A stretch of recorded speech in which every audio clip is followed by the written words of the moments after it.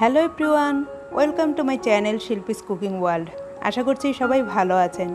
আজ আমি মাত্র এক কাপ আটা দিয়ে ষাটটি মিনি ভেজিটেবল মোগলাই পরোটা তৈরি করে আপনাদের দেখাবো। আর এই মোগলাই পরোটাগুলো খুবই অল্প সময়ে এবং অল্প উপকরণ দিয়ে খুব সহজভাবে আমি তৈরি করব। আশা করছি রেসিপিটি আপনাদের খুব ভালো লাগবে। রেসিপিটি ভালো লাগলে প্লিজ আমার চ্যানেলটি সাবস্ক্রাইব করবেন এবং আমার নতুন ভিডিওগুলোর আপডেট পেতে পাশে থাকা বেল আইকনটি ক্লিক করবেন। চলুন তাহলে রেসিপিটি দেখে নিই। মোগলাই পরোটা তৈরি করতে একটি মিক্সিং বলে প্রথমে আমি নিচ্ছি এক কাপ আটা। যেহেতু আটাটা সবার ঘরেই অ্যাভেলেবেল থাকে, এজন্য আমি আজ আটা দিয়ে মোগলাই পরোটা তৈরি করব। আপনারা ময়দা দিয়েও এটা তৈরি করতে পারবেন। সেই সাথে নিচ্ছি লবণ পরিমাণ মতো।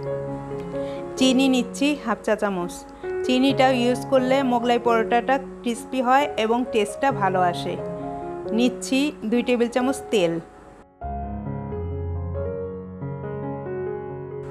এখন শুকনো উপকরণগুলো একসাথে ভালোভাবে মিশিয়ে ময়ান করে নিচ্ছি। হাত দিয়ে একটু ঘষে ঘষে মেশাতে হবে। ময়ানটা পারফেক্ট হয়েছে কিনা তা বোঝার জন্য আমি একটু আটা হাতে নিয়ে মুট করছি। দেখুন, আটাটা সহজেই মুট করা যাচ্ছে এবং একটু প্রেস করলে ঝুরঝুরে হয়ে যাচ্ছে। এমন হলে বুঝতে হবে ময়ানটা পারফেক্ট হয়েছে। এখন আমি কুসুম গরম পানি অল্প অল্প করে মিশিয়ে একটি সফট ডো তৈরি করে নেব।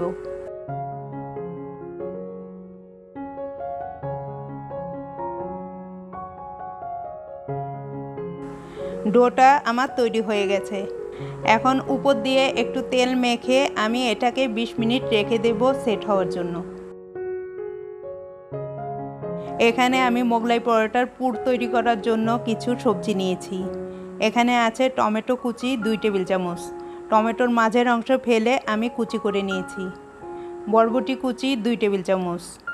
গাজর কুচি, দুই টেবিল চামচ। তিন চারটি কাঁচামরিচ কুচি, দুই টেবিল চামচ পেঁয়াজ কুচি। আর আছে কিছু ধনেপাতা কুচি। আপনারা আপনাদের পছন্দ মতো সবজি এখানে ইউজ করতে পারবেন। তবে অবশ্যই যে সবজিগুলো সিদ্ধ হতে কম সময় লাগে, সেই সবজিগুলো ইউজ করবেন। এখানে নিয়েছি দুইটি ডিম। এখন এর সাথে নিচ্ছি সামান্য লবণ। নিচ্ছি হাফ চা চামচ চাট মশলা বা চটপটি মশলা। চাট মশলা আপনাদের কাছে না থাকলে আপনারা নুডলসের প্যাকেটের ভেতরে যে মশলাটা থাকে সেটাও এখানে ইউজ করতে পারবেন। এখন এগুলোকে একটি কাটা চামচ দিয়ে ভালোভাবে ফেটিয়ে নিচ্ছি। ডিমগুলো ফেটানো হলে দিচ্ছি সবজিগুলো।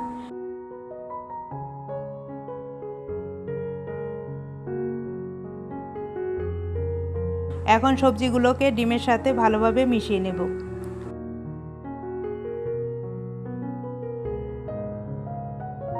বিশ মিনিট পর আটার ডোটাকে আরেকটু মথে নিচ্ছি। এখন এটা থেকে লেচি কেটে নিচ্ছি।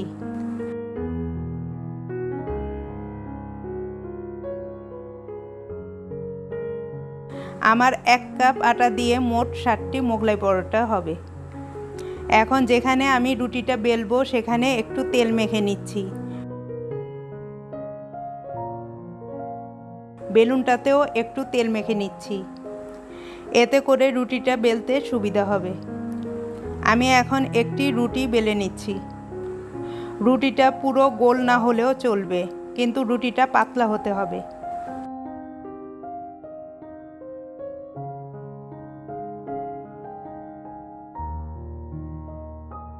এখন রুটিটা আমার বেলা হয়ে গেছে। এখন এটাকে উঠিয়ে একটু উল্টিয়ে দিচ্ছি।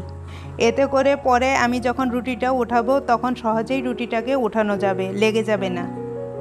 রুটিটাকে এখন টেনে টেনে একটু বড় করে নিচ্ছি। খেয়াল রাখতে হবে যাতে রুটিটা ছিঁড়ে না যায়। এখন আমি রুটিটার মাঝখানে ডিম ও সবজির যে মিশ্রণটা তৈরি করে রেখেছিলাম, সেটা দিচ্ছি।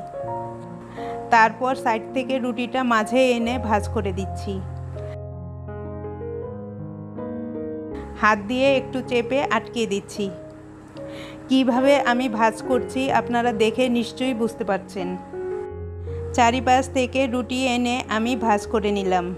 এখন এটাকে উঠিয়ে নিচ্ছি। এখানে একটি প্যানে পর্যাপ্ত পরিমাণ তেল নিয়েছি। এখন তেলটা হালকা গরম আছে।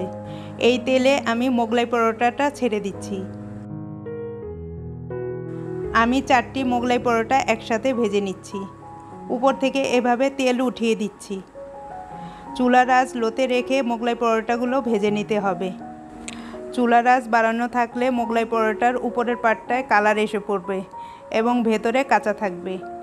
একটু সময় নিয়ে ভাজতে হবে। দুটি স্প্যাচুলার সাহায্যে আমি এক পিঠ ভাজা হলে আরেক পিঠ উল্টিয়ে দিচ্ছি। এভাবে উল্টিয়ে পাল্টিয়ে আমি মোগলাই পরোটাগুলো গোল্ডেন কালার হওয়া পর্যন্ত ভেজে নেব। সেমভাবে আপনারা বড় মোগলাই পরোটাও তৈরি করতে পারবেন। এখন আমার মোগলাই পরোটাগুলো ভাজা হয়ে গেছে। এখন আমি মোগলাই পরোটাগুলো একটি ছিদ্রযুক্ত হাতার সাহায্যে তুলে নিচ্ছি। এভাবে আমি বাকি মোগলাই পরোটাগুলো ভেজে নেব।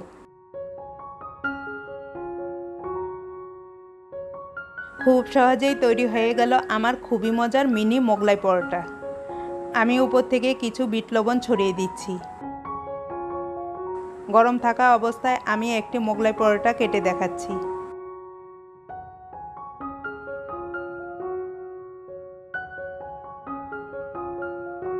দেখুন, ভেতরটা কত ভালোভাবে কুক হয়েছে।